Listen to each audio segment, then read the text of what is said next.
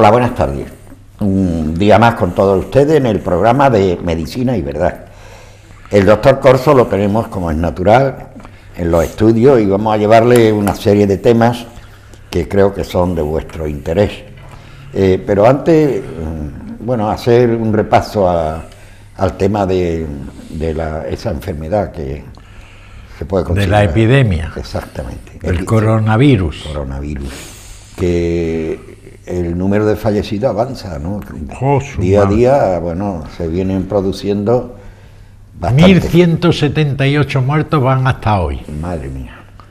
1.178 muertos y 74.576 contagiados. Eso lo hemos hablado muchas veces a lo largo de estos dos últimos programas, que afecta más a la persona mayor, ¿no? Hombre, claro, a las que tienen enfermedades concomitantes o enfermedades, claro. Los que están resfriados, los diabéticos, los obesos, los que tienen distrés respiratorio, los que tienen asma, los claro, cardiopatía, contra más débil te coja, antes se cae el árbol, eso está claro. A, digamos, a morir. A, morir, claro. Bueno, pero que, pena, ahí qué pena llegar a viejo, ¿no? No, hombre, la pena es no llegar. También es verdad, porque sí. si se llega es porque lo has vivido, ¿no? Lo has vivido y, hombre, hay que darle gracias a Dios llegar. Hombre, también es importante, muy importante la forma de llegar. Yo, pues sí. la verdad, yo no soy defensor, ni lo he sido nunca, de la eutanasia ahora que se va a hablar tanto de la eutanasia. Vamos a tener. Sí, vamos a tener eutanasia. Ríos de tinta y de palabras. Eutanasia para rato. Mm. Yo soy radicalmente opuesto a los abortos, radicalmente, salvo en los casos de violación. Ya. ¿Por qué? Pues porque no es un, un embarazo deseado y puede traerle consecuencias a esa madre si lo pare de por vida porque siempre que vea al niño verá la cara del hijo de puta del violador. Del hijo de puta del violador. Sí, sí, Y eso es tremendo. Eso es tremendo. Eso, para eso yo sí, porque considero que al no ser un embarazo, eh, ser un embarazo por violación. Y porque la secuela queda. Hombre, claro. A lo largo de la vida de esa mujer. De esa mujer, psicológica, por supuesto. Y si encima el objeto lo tiene delante, que es el niño, pues, y más si se parece al violador, pues, y te cuento. Es que es una situación complicada. No, complicada, no, es que es muy triste. claro, triste y eh, complicada. Claro, esa criatura no ha pedido venir al mundo. Claro, es que. Complicada en el sentido de que qué culpa tiene él. ¿Qué culpa tiene? El chavalín o la chavalina que ha nacido. La tiene el hijo de puta del violador. Pero evidentemente eso representa para la madre un shock continuo el verlo. Pues pues o para la abuelita cuando vea, mira, mi nieto que fue que se cepillaron a mi nieta, a mi hija, tres tíos que estaban borrachos, que la drogaron, o que la violaron, porque pero, sí. doctor, ese, ese tipo de resoluciones, en su opinión, ¿de quién depende? ¿De la persona que lo padece o de, la, de las leyes que crean los políticos? Si es que, eh, ¿Quién toma, quién toma una, decisión? La decisión sobre mi cuerpo la tomo yo, no la puede tomar ningún político, que puñeta. Esto pasa como con la educación. Pero de que si el MIT este familiar, no sé qué, vamos a ver.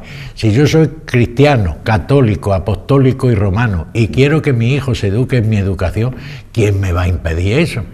si a mí no me gusta ni furcias ni maricones, y no me ¿por qué voy a aguantar charlas a mi hijo de furcias y de maricones? ¿Pero qué dice? o de lesbianas. Pero, ¿Por qué? Pero sin entrar en... Porque entrar en esa materia es complicado. Es muy complicado, pero... Pero ahora bien, ahora bien, un padre efectivamente tiene la potestad, llamémoslo así. Si yo no puedo educar a mi hijo, entonces que empiece de, de Pero hay forma, la Constitución te da forma para evitar, oiga, con una cartita, oiga, que mi hijo no quiero que entre en esta materia. eso sería el mit familiar. Y ya está solucionado. Que se han puesto todos hechos una fiera, ¿no? Mire usted, yo quiero que se eduque a mi hijo con respecto a mis principios, que podrán estar equivocados o no. Eso ya es otra historia. Pero no quiero eso también ya se verá cuando ese niño Claro. tenga- sea mayor de edad. Pero tú sabes, tú sabes perfectamente, Pepe, es muy difícil.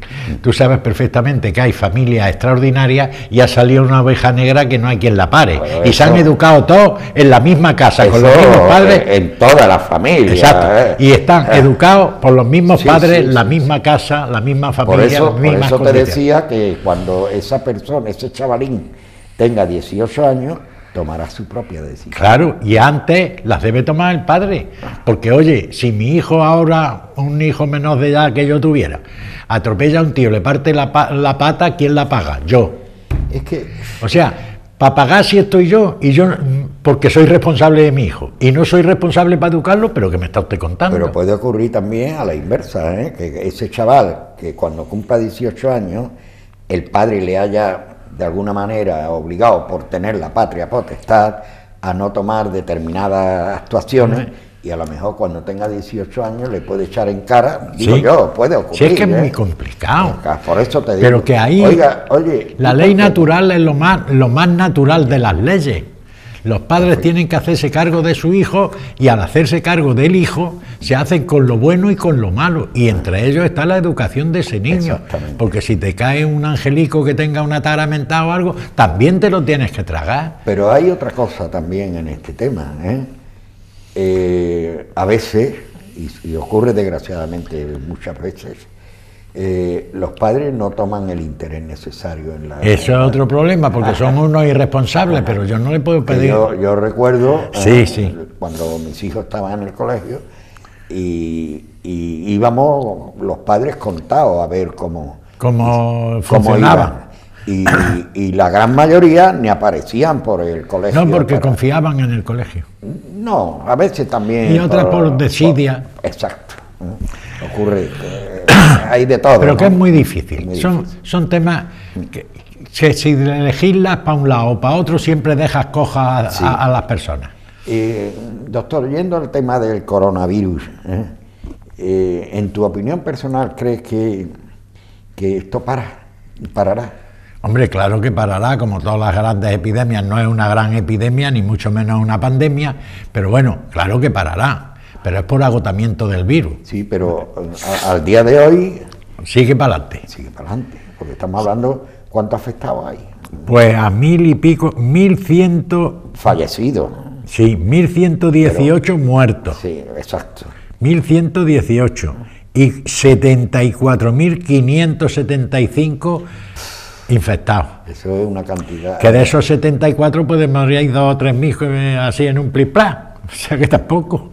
Yo recuerdo que en cuanto a afectados, hemos aumentado con relación al miércoles pasado, a la semana pasada, pues hemos aumentado. Yo creo que en 20.000 o algo así, no me acuerdo en la semana Sí, pasada sí, si eran sí. 50.000 o Sí, 40 y tantos correcto. mil. Y ahora ya son 74.000. Y, y todavía no, no se percibe de que esa vacuna esté. No, no, si las vacunas tardaría 8 o 10 meses todavía en salir. Porque empezaron a decir que si la vacuna, déjese usted de rollo, no cuente usted cuentos. Una cosa es no alarmar y otra es mentir. Claro, las dos cosas son malas. Pero claro, no. Primero, el gobierno chino, como todos los gobiernos comunistas, es cerrado. Ese no habla lo que quiere y lo que no quiere, ni lo dice, ni se comenta, ni deja comentar. Eso lo hacen todos los jóvenes. Todo, pero más esto. Y claro, el primero que lo denunció ya está muerto el médico y luego se ha montado un follón en China porque llevaban llevaba el tío razón. Mire usted que esto es serio, que esto. claro. Eh, Ah. ¿Tú crees que si en, en el momento que denuncia se toman las medidas Hombre, si hubieran tomado las medidas, pues mucho mejor, se hubiera aislado mucho más el tema. Claro. Pero claro, mientras vaya, mientras aquello pasaba, iba gente y venía de Wuhan, que voy para acá, que voy para allá, que no. Claro, luego viene lo que viene. lo que viene. Bueno, Pero en fin, ahí di- dijimos eh, la semana pasada de esperemos que, que por hoy eh, la noticia sea más, más fresca, más, eh, más llevadera. No, no, no, no, no, Pero desgraciadamente no, esperemos que... Y esto irá a más.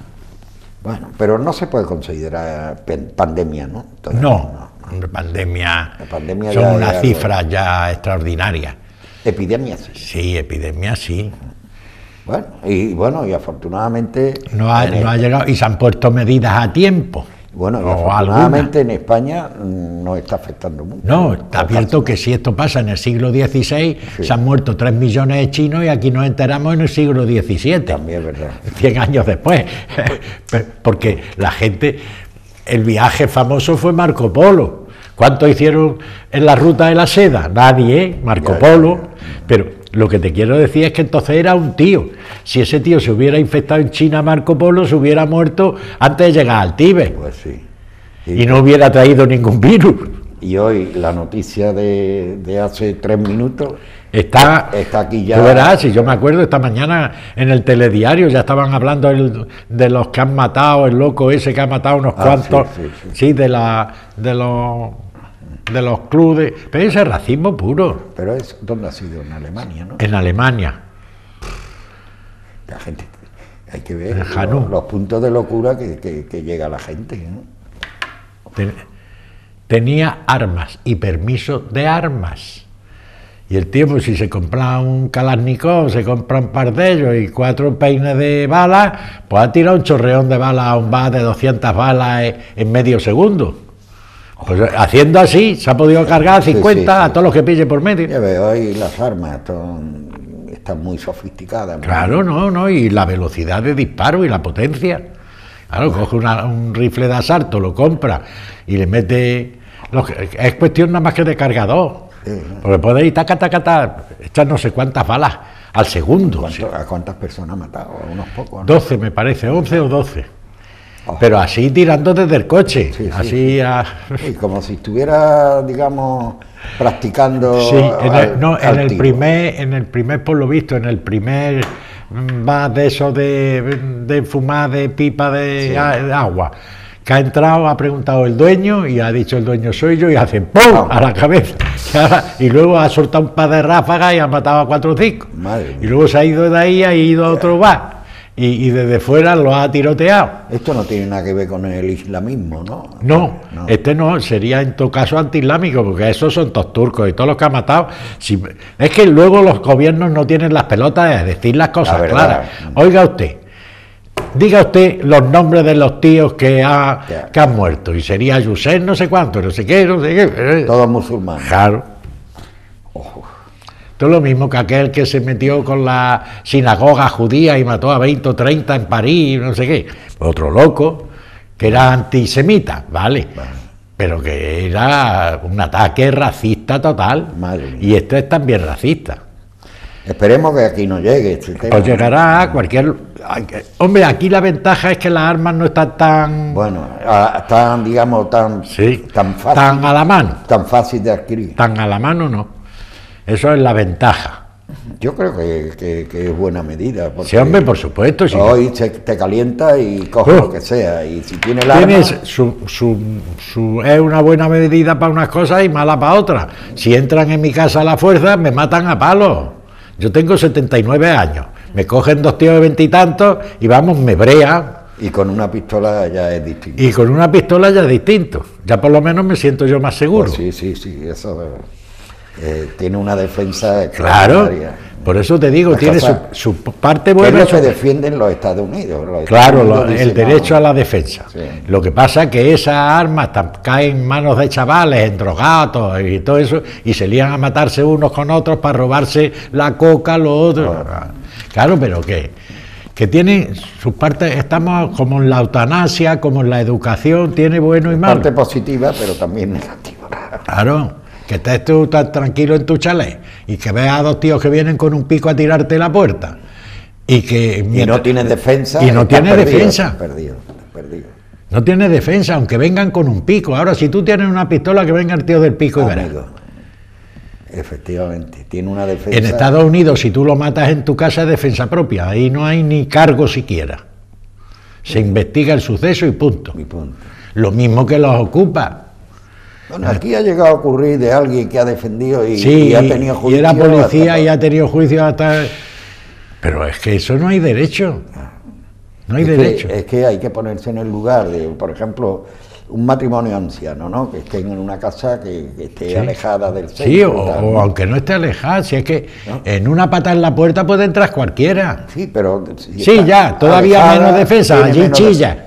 Y, te, entran a robar. Sí, y te pueden matar a palos, te pueden torturar, lo que quieras. Sí, sí, sí, sí. Bueno, porque no vas a tener tu derecho Con a tu un arma es distinto. Esa es la parte positiva. Claro. Muy bien, bueno, pues vamos a entrar. La parte negativa es que te vuelvas loco y salgas y mates al vecino porque ha hecho ruido a las 3 de la mañana. Eso es. claro, si estamos en lo de siempre.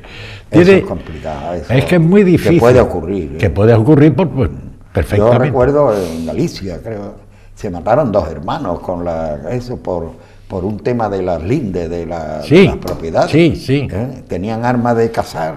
sí, y se pegaron unos cuantos tiros. Y uno mató al otro por el tema de unos metros. De, sí, sí. Y una discusión, y llega, a coger la pistola. Si yo te contara cosas que he visto en las herencias, para echarse a llorar. además de verdad.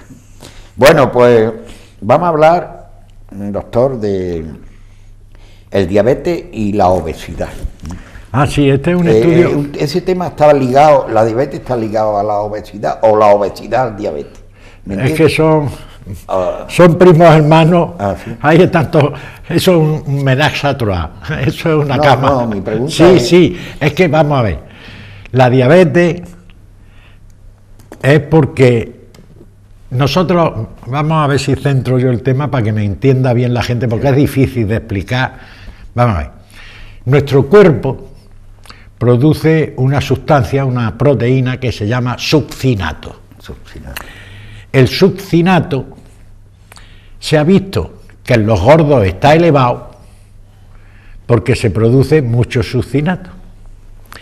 Pero es que las bacterias que anidan en nuestros intestinos, la, microbiota o, o la macrobiota intestinal, tiene bacterias que también segregan succinato si el número de bacterias, y también tiene de las que gastan el sucinato. Lo que pasa es que esto es como una cuenta de, bancaria. Si ingresas más de lo que sacas, siempre tendrás dinero. Si lo haces al revés, la cuenta se va al carajo. Y entonces te, cargan el. Exactamente. se han cargado la cuenta. entonces, el impuesto. El sucinato, que en sí ni es malo ni es bueno, si hay más aumento en sangre de sucinato, lo cierto es que tú tienes la posibilidad de engordar, la auténtica posibilidad real. Eso por un lado. Y por otro, si tienes bacterias que segregan sucinato, las bacterias al subir todavía más el sucinato hacen que se elimine más la glucosa, luego te sube el azúcar, luego está diabetes y obesidad.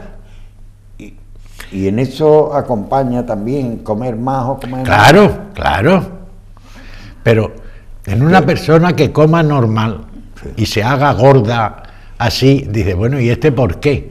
Pues probablemente por producción de sucinato la, de que, la del propio organismo, de nuestras propias células que lo producen, pero de la microbiota intestinal que produce, que tiene bacterias que añaden más sucinato.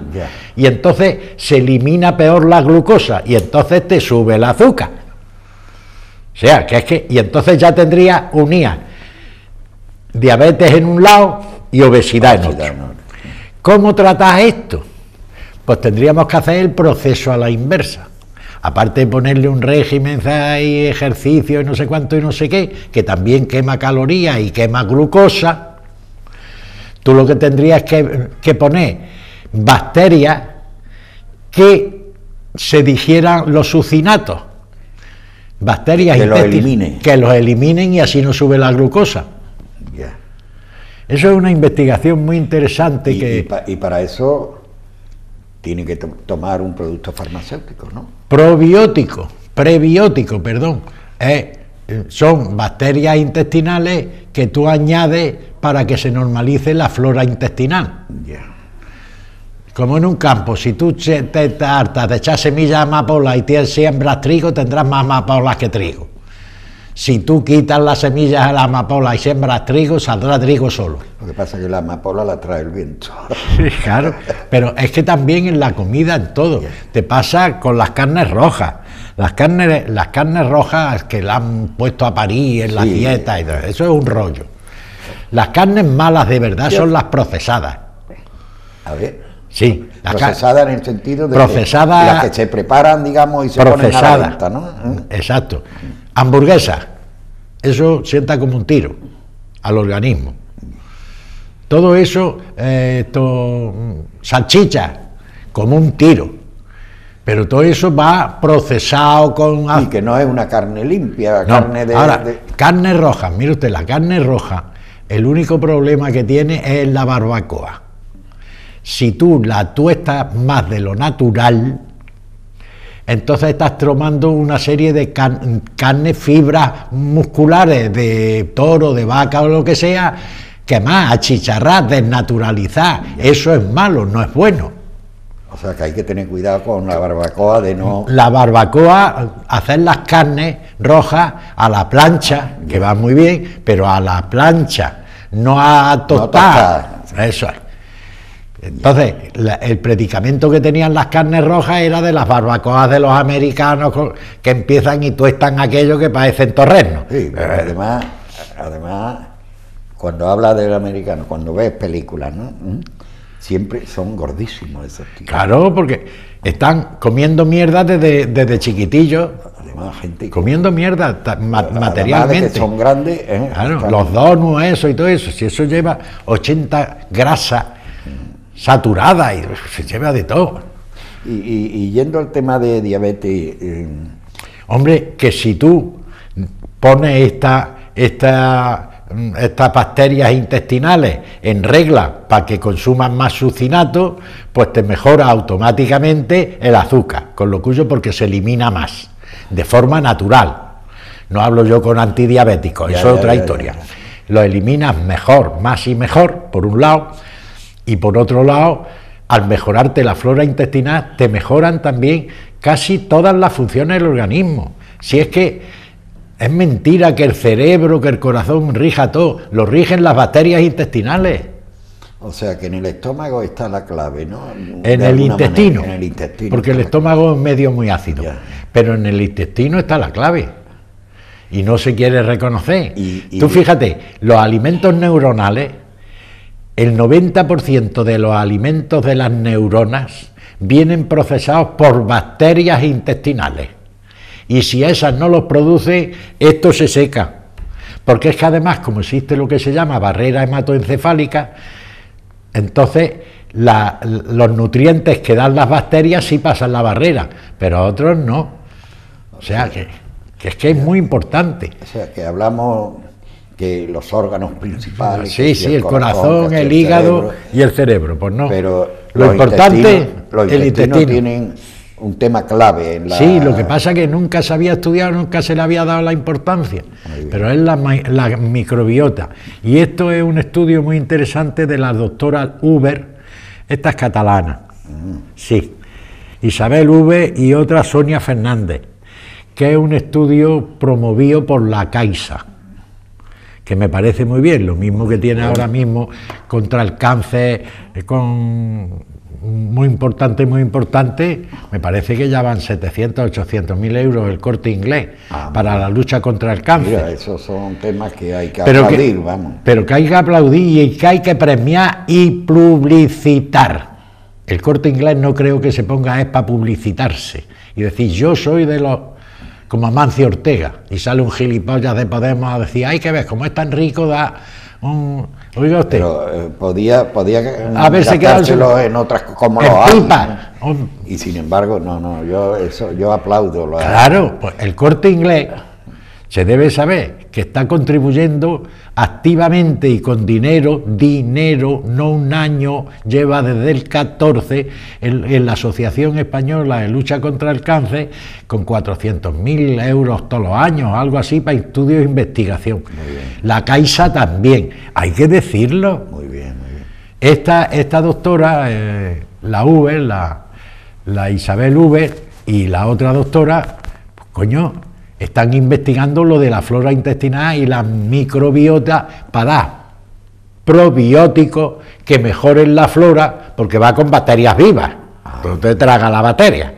Se, eh, se instalan y empiezan a producir allí, claro. Un trabajo interesante. Claro, es un trabajo muy interesante. Y, mm, doctor, que me viene a la memoria una noticia, llamémosle así, donde decía un experto que para el año 2040 se dará la noticia, 2040, sí, se dará la noticia de que se vence al cáncer. ¿Tú crees que puede ocurrir? Yo no me lo creo.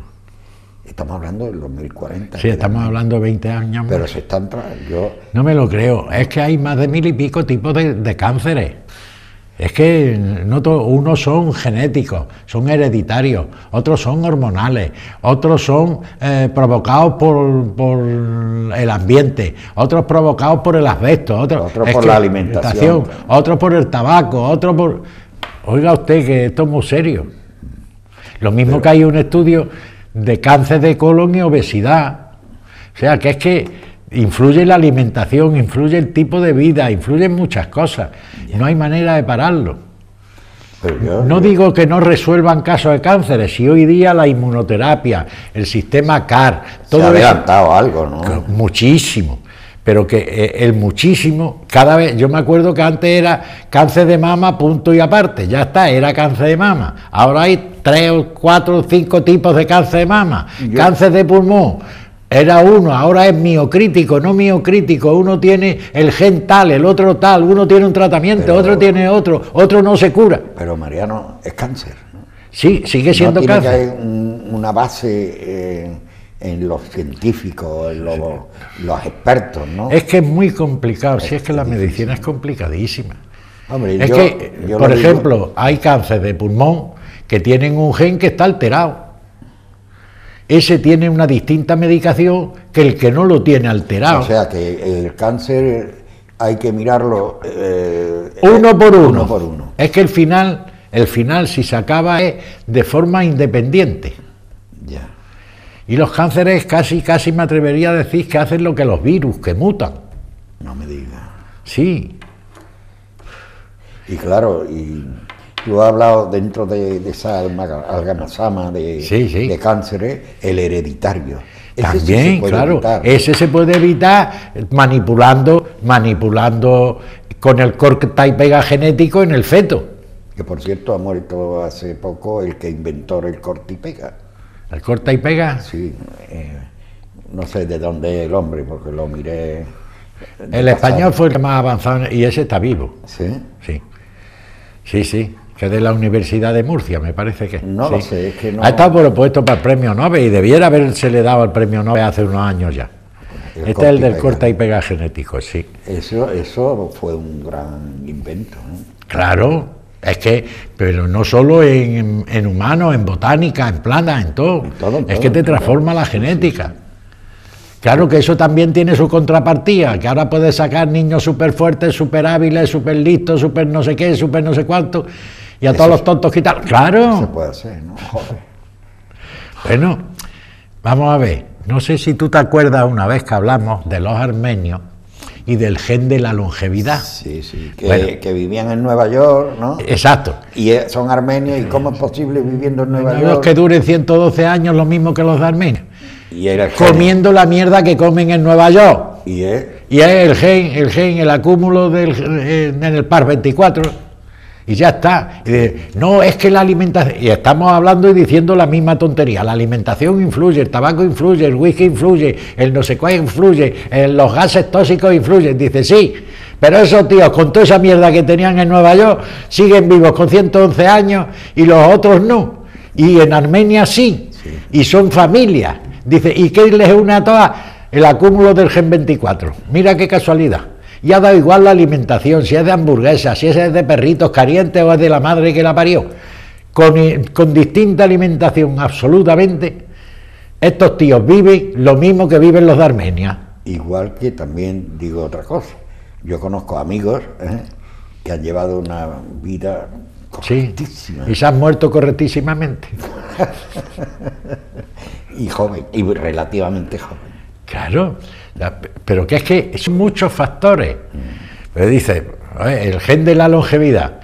Hombre, será mejor tenerlo que no tenerlo. Pues si yo me pudiera haber hecho un corta y pega genético, me hubiera puesto para 120 años, aunque fuera solo por dar por saco. ¿Tú sabes lo que es un tío durando 120 años en buenas condiciones? Que es para lo que estamos dotados genéticamente.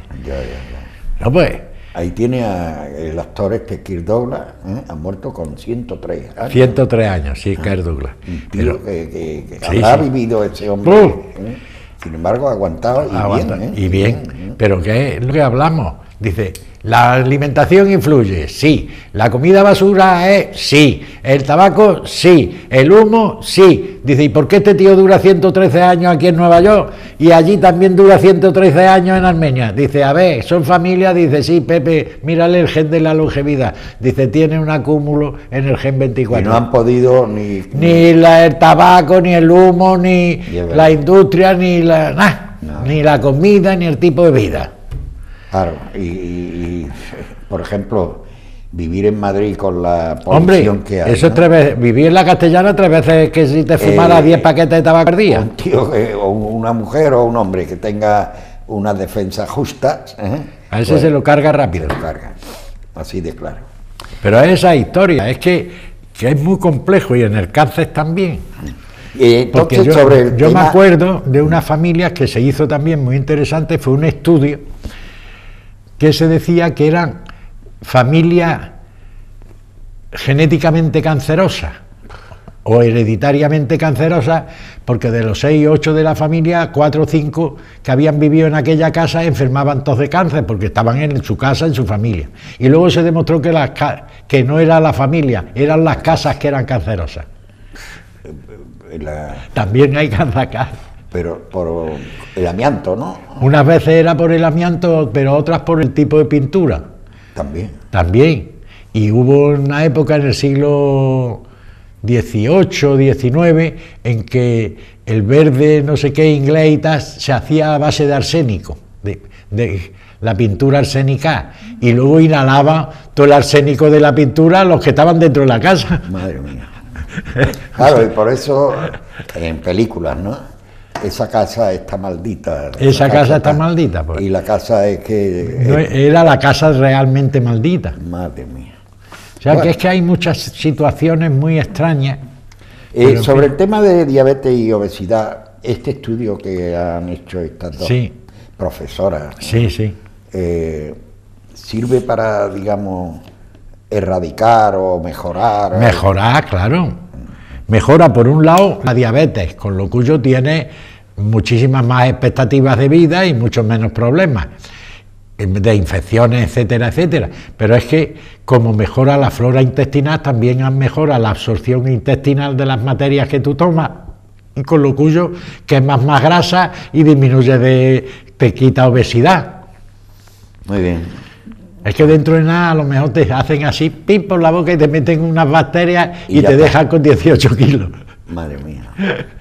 Claro, porque hoy, hoy una de las grandes peleas es evitar la obesidad. Claro, apartando el tema de la diabetes. ¿no? no, la obesidad tremenda.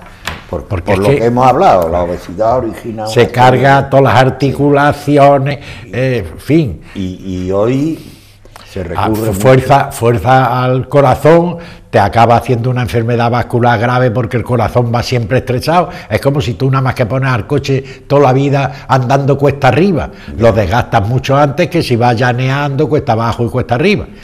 Eso es un cuesta arriba permanente. entonces quiere decir que yo muchas veces cuando vengo con mi cochecillo, ¿no? Veo a, a gente relativamente joven, ¿no? Que van bañados de sudor, corriendo y tal. ¿Tú crees que eso es positivo? Sí, pero si luego no se cierran el pico, tururú que te vi. Pero eso es un esfuerzo que le estás dando tú a... a... Sí, a mí me dio una que estaba muy gorda una vez, ya hace muchos años de esto. Doctor Corzo, ¿cómo puede usted quitar la, la, gordura? Digo yo, con un metro de seda de seda de negra. Dice, ¿seda negra? Digo, sí, para coserte los labios. Te arranco un diente y te dejo para la pajita. y verás cómo te adelgazas, quiera o no quiera. La alimentación. Claro. Y eso se ve, por ejemplo, ¿no? Es un ejemplo que he visto ayer o antes de ayer. ¿eh? Salió un preso, no voy a decir quién es ni tal, ¿no? Que entró gordísimo ¿eh? y ha salido más reducido, más reducido. Más reducido. Claro. Porque allí la comida es sin sal, historia y tal. En fin, que los excesos cuando está libre ¿eh? Eh, no los tiene. Sí, sí, sí, sí, por supuesto, en las cárceles. Y eso ayuda mucho a mejorar. Bueno, bueno, vamos, vamos a otro tema. Otro de los temas es, una palabra un poquillo complicada, ¿no? Mastopexia. Mastopexia. ¿eh? Esto, Esto literalmente lo que significa es colgar las tetas, es decir, elevar el pecho, en fin, no es una mastectomía de reducción, no, no, sino los pechos que por los embarazos, o porque la mujer no se encuentre a gusto con ellos, o porque los tenga muy caídos, o por esto no es una enfermedad. No, es una enfermedad. Pero claro, es también, vivimos en, una sociedad que vivimos, ¿no? Y te exige también que no estés... Y, hay fórmulas o modos para levantar los, los senos, los pechos de Sí, sí, sí, sí. Eso se hace... Hombre, y a, través de que de una intervención. Sí, una intervención quirúrgica, eso es cirugía plástica, vamos, estética, perdón. Plástica también porque los plásticos la utilizan para cuando se operan las mastectomías radicales, quitar el cáncer de mama entero, la mama y llevarte los ganglios axilares. Pero en fin, que eso lo que se hace es precisamente para remodelar el pecho, dejarlo con los pezones mirando al frente. Eso por un lado. Por otro, cuando lo que hay es una disminución de tamaño del pecho por la circunstancia que sea, Tú puedes hacer eso y meterle además eh, grasa, el, el, pecho, grasa sin necesidad de prótesis, grasa mediante liposucción, tú tratas la, sacas la ¿De dónde? Pues de las pistoleras, de las cartucheras, de, hombre, claro. La, la propia grasa de la Sacas por liposucción la grasa, la procesas y luego la inyectas. Pero, no hay un procedimiento para aumentar los pechos de una mujer. Sí. Que la prótesis mamaria. Pero ¿para qué? Si lo puedes hacer con tu propio organismo, ¿para qué puñeta vas a utilizar una prótesis? Ya, ya, ya. Y es mucho menos, menos expuesto. Tú sacas de aquí, la eh, tu propio, menos posible, no son grandes cicatrices, no es una cicatriz grande, no hay mm, muchas menos posibilidades de infección, etcétera, etcétera. Y es como si te metieran, claro, y el pecho que en sí en realidad es grasa. Y, y esto no es que esté al orden del día, pero son... Sí, no, se hace ah, muchísimo, uh, muchísimo. Acuérdate cuando las prótesis, aquellas, las PIP, Polimplant prótesis, aquella del francés que, que las patentó en Alemania. en Alemania. Y la fabricaba en Francia. En Francia. Y, no iba como tiene que ir. Que va. Si era silicona de barco, el hijo puta. Bueno, ese, la justicia lo Sí, lo metió, pero lo tenía que haber colgado. Me parece que en Brasil tuvieron que cambiar 18.000 tetas. O sea que hay. 9.000 mujeres. Hay, hay que extraérselas. Hombre, claro, porque daban cáncer. O reventaban, o cuando reventaban daban cáncer. Y entonces tuvieron que quitarla. Pues 18.000, pues 9.000 mujeres. Madre Que se habían puesto implantes en Brasil. Como decía mi abuelo, hay gente para todo. Hay gente para todo. Eso lo decía Juan Belmonte. ¿Quién? Juan Belmonte. Ah, Tú no sabías. El torero, ¿no? Sí, el, bisabuelo de mi nuera. Ah. Sí. Ese fue en Madrid, en las ventas. Tiene, la estatua la tiene en el barrio. Sí. Yo lo, vi hace poco, Juan eh, en, en, las ventas, estando en las ventas, le, el, no sé si sería Balañá, el que fuera, un empresario taurino, estaba con Belmonte y llegó, y llegó un, un poeta español famoso y le dijo aquí don Juan Belmonte, aquí don fulano poeta, y lo mira, dice, desde luego hay gente para todo. y eso se ha quedado. hay gente para todo. Otro, otro torero que, que sus frases eran muy peculiares era el gallo, ¿no? El gallo también, si es que eran todos como primos hermanos. Joselito, el gallo Joselito, Belmonte. El gallo, Yo a Rafael Gallo y a Belmonte lo he visto 80.000 veces Ah. en los corales en Sevilla. Eso era- Además eran curiosísimos porque eh, tomaban café siempre. Después de comer se juntaban en los corales. Y el primero que llegaba se sentaba. Los dos iban como Dios manda. Chaqueta corta, sombrero de ala ancha, toreros de verdad y Torero camperos. Total, y el primero que llegaba se sentaba. El otro pasaba por la barra antes de llegar a donde se- estaban los asientos, cogía una servilletilla chica y le hacía una bola. Iba andando y, hola, buenas tardes. Y unas veces le dejaba la bola y otras no en lo alto el sombrero de ala ancha. Y cuando se sentaba, porque era una apuesta entre ellos, ¿la tiene o no la tiene? Y el otro decía, no la tengo, se le sacaba el sombrero, que era verdad que no la tenía, lo pagaba el que perdía. Que la tenía, pagaba él. Y así era. Eran graciosísimos los dos, eran saladísimos. Sí, hay, hay Sí. eh, lo cuen- vamos, las anécdotas y frases que han quedado, bueno, de los de, del gallo, de Belmonte y de Joselito. Joselito no tiene nada que ver con el gallo, ¿no? Sí, Sí, es, Jo- es Sí. Joselito el gallo, ¿no? el gallo. Belmonte y el otro, ¿cuál era? No, eh, o eran los dos, no los reyes. Eran, bueno, los toreros de. Sevilla, Yo sé lo el, justo. el gallo, Juan Belmonte y Joselito. Rafael el gallo. A eso, Rafael el gallo. El gallo. Joselito y Belmonte. Joselito fue el que murió en Talavera. Y Belmonte el que se pegó el tiro. Y, y, el- Efectivamente, Belmonte se pegó un tiro. sí, y sí, lo diagnosticaron de cáncer de pulmón, sin solución. Bueno, pues. Pero eso era interesante. es que el Y luego tenían los tres califas del toreo. El Guerra, Lagartijo y Manolete. que era otra época. Mm, Después un poco después, pero no mucho. No mucho. Bueno, Manolete. Sí, no, se llama. reciente, bueno, ¿no? Claro, los, los califas del toreo eran Guerra, Lagartijo y Manolete. Y luego El Guerra el- también tenía frases. el Bombita, eh, sí, el Guerra era otra sentencia. Yo conocía al Guerra. Ah. El Guerra también iba en capa de ala ancha, sombrero. oh, Guerra tío. sevillano también. No, cordobés. Ah, no. Ah, cordobés. Como Manolete, ¿no? Claro, los tres califas del toreo, los tres de, de Córdoba. Ah, los tres eran de Córdoba. Claro. Qué bien. Era muy interesante. Yo conocía al Guerra, era un señor. La Oh. historia. y además siempre impecable. Su capa de ala ancha, su sombrero de ala ancha, vamos, su capa española, de, Sí, con los vueltos de terciopelo rojo. Vestían como toreros. Sí, era un torero integral. Bueno, Qué- pues de- después del más de masto, mastopexia, La mastopesia, bueno, lo que hay que decir es que también, bueno, aquí hay muy buenos cirujanos estéticos y plásticos y también en Almería. Marbella, Marbella da la Sí, talla. sí, en este da tema, la ¿no? talla, sí. También eh, en Almería hay uno muy bueno, Ah, sí, que hace mastopesia y que hace, sí, sí, sí, en, en Almería. ¿Se Además, puede considerar este trabajo, digamos, moderno? Sí. Hombre, es relativamente moderno, porque con la cirugía plástica empezamos mucho antes, cuando tenías que quitarte una mama, ves cómo rellenas el cuadrante, porque entonces no había ni prótesis ni historia. Ya, las cosas, claro, Eh, eh, eh, y digo yo, para hacer ese trabajo tenía que ser un profesional. ¿no? profesionales.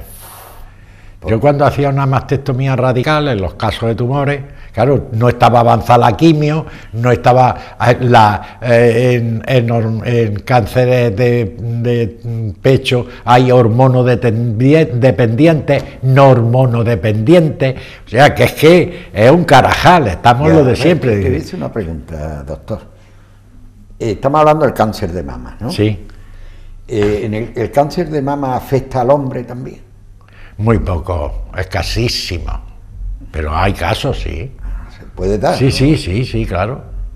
No, yo No, sí, claro. Pregunto porque estamos hablando de una mama, ¿eh? Sí, teóricamente siempre femenina, pero hay cáncer de mama masculino. Lo que pasa es que es rarísimo. Y generalmente esos son de origen hormonal. Pero en las mastectomías, pues tú le ponías el brazo hacia la señora, si era el, la- el pecho derecho, y empezabas aquí en el pliegue este, bajabas como una lágrima, hacía así, subía, vaciabas la mama y cerrabas para que y dejaba el drenaje abajo para que la sangre que rezume o algo y de aquí te llevaban los ganglios linfáticos de, de la axila, porque es que si no... Eso antes, hoy ya no se hace. Sí, bueno, yo no sé. Hay quien la quita cacho, que me parece una bestialidad, y otros que las quitan con una raja atravesada, que eso no tienen ni idea de cirugía. Esto para ti, para mí. Sí, porque tú tienes que seguir los pliegues normales de, de la piel, tienes muchas historias. Y luego, que si tú quieres drenar, si tú montas aquí como una pitillera, la sangre que rezuma desde la raja de aquí hacia abajo, no hay manera de drenarla como no le dejé un tubo. Y para llegar aquí tienes que montar un destrozo mucho mayor que si empieza por aquí, que es una lágrima. Y es muy fácil. Complicado. No, te lo llevas tú. Claro, es que sabe. bueno, pero que es muy interesante. Pues pero ese. Bueno, pues vamos a hablar ahora para ir terminando eh, del virus bacteriófago. Bacteriófago, ah, bueno, eso es un estudio. Bueno, a ver, explícanos sobre todo a la audiencia. ¿eh? Bueno, pues que, que, si alguien quiere ir a Almería, allí que pregunte por el doctor Jaime Antonio García. Ese es el de, ese sabe de esto, tela. Sí, ¿no? Aquí. ¿Y en qué consiste, doctor? El de la mastopecia. Este. No, ah, hemos hablado de la mastopecia. y aquí, pues, Ángel Ruiz Norro, que sabe una bestialidad. Pues ha estado aquí con nosotros, Ángel, en alguna ocasión. Más de una vez. Sí. Y sigue relacionado con, la, con, esta, con, con M95. Claro, hombre, sí. Un tío eh, fenomenal. Y además, como persona extraordinaria. ¿no? Sí, sí, muy buena gente. Y como médico, como cirujano, ¿no? sí, cirujano plástico y estético. Muy bien. Es una suerte que gente sí, con, con, esa, con, esas capacidades, claro que sí. Eso le da a Marbella también un punto de vista también importante. Eh, Pero yo me acuerdo de, venir gente. Claro, Ángel es muy amigo mío, nos, nos vemos poco. Su chiquillo es un fan mío. Angelillo sí. Ah, sí, sí, por lo visto le encanto. Me ve la M95 y está encantado. y eh, Ángel, cuando vino aquí por primera vez a Marbella, empezaron a ponerle todo el mundo. Pues sí. Y yo lo defendía capa y espada porque es un tío bueno, como no lo voy a defender. Pero, ¿quién le pone? Propio... Por los propios compañeros. Eh. Qué mala es la envidia, ¿no? La envidia es mala, la competencia es mala. Hombre, la competencia está ahí. Ya, pero, a veces es bueno que haya competencia porque sí se mejora para mejorar. Eso por supuesto. Lo que pasa es que nadie quiere competencia cuando hay dinero por medio. Qué malo el dinero, ¿eh? Qué bueno es, pero qué malo es también. Poderoso caballero es don dinero. Dinero, poderoso. Sí, Según decía Quevedo, ¿no? Sí, pero a veces cuando consigue dinero, yo, no es mi caso, ¿no? Porque siempre estaba la última pregunta. Pero cuando se ve, cuando consigue el dinero, te llega una situación distinta. Totalmente. Y a lo mejor echa de menos con la otra vida. Se nota, sí, y se ve quiénes son los amigos y quiénes ah, no. Sí, También es fundamental. Bueno, explícanos un poco el tema del virus bacteriófago. Esto es del Instituto Tecnológico de Massachusetts, en Estados Unidos, que los tíos han estudiado. Vamos a ver, tenemos ahora mismo la medicina dentro del sistema sanitario un problema bestial, no grande, bestial, que son las bacterias resistentes a los antibióticos. ¿Por qué? Porque los excesos también son malos. Se ha puesto antibióticos hasta en la pasta de dientes, pues ahora tenemos todo lo contrario, que no tenemos defensa ante ningún bicho porque pero, claro, las bacterias sí se han acostumbrado a... Eso, eso, eso te iba a decir. ¿Qué quiere decir? ¿Que la bacteria se ha familiarizado claro, por con el antibiótico? Claro, y, ha aprendido a combatirlo. antibiótico que te metan en el Nada, se hacen resistentes. eso es grave. ¿eh? Claro, pero eso ha sido por el uso y abuso de antibióticos. El uso y abuso de antibióticos trae eso, que las bacterias es como como la guerra árabe-israelí en el Cairo. Eso, no hay quien lo solucione. Claro, ¿qué, pasó? Que al principio los israelitas llegaron hasta el Cairo, no quisieron tomarlo porque eran veintitantos millones y era más ¿Quién domina eso? Eso.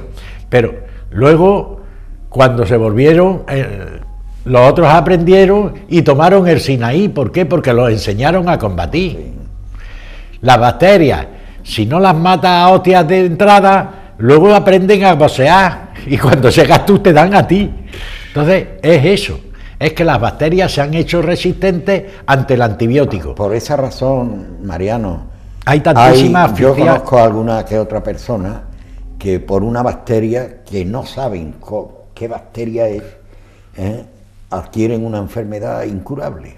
Claro. Puede ser. Sí, puede ser perfectamente porque le largan antibióticos y antibióticos y antibióticos. Y si es resistente al antibiótico, le da igual. Entonces, ¿qué ha ocurrido con esto? Que a la vez muchas bacterias resistentes a los antibióticos, las infecciones son cada vez más graves y menos positivo el uso de antibióticos. no pueden luchar contra esa, porque ya saben. Me viene a la memoria, me viene al recuerdo, al recuerdo, sí de que, por ejemplo, cuando entra en un hospital, lo sé por una paciente que era amiga nuestra, que entró por un resfriado eh, y... Se enganchó una bacteria a la que fuera y palmó como un ratón. Y murió. Eso se llaman infecciones nosocomiales. Bueno, infecciones hospitalarias. En España, a día de hoy, con la estadística del Ministerio de Sanidad en la mano, mueren más de infecciones en los hospitales que por accidentes de tráfico. Madre mía. Hoy. Y eso es un dato incuestionable.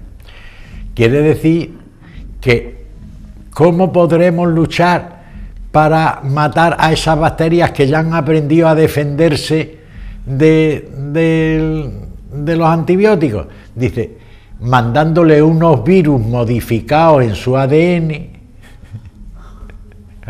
Esto es lo que mandando unos virus modificados en su ADN que le hacen penetrarle a las bacterias y reventarlas vivas. O sea, engañarlas. Y matarlas. Y matarlas. Porque actúan, los virus esos no actúan por el mismo mecanismo de los antibióticos, es otro mecanismo distinto. y claro, las cogen sorprendidas, no saben. Dicen, tú tienes un muro pues, esperando que vengan aquí, tú estás aquí y te entran por las cañerías, coño. Y en eso están estudiando en. Sí, sí, sí, en Massachusetts.